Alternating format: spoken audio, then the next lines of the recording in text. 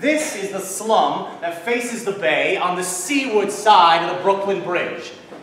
This is the gullet of New York. The casting was perfect. Everybody did a great job. The set design to the sound effects, Music. and obviously, and first and foremost, the acting. We thought it was superb. It was very, very well done. Yeah, I had a good time. It was fun.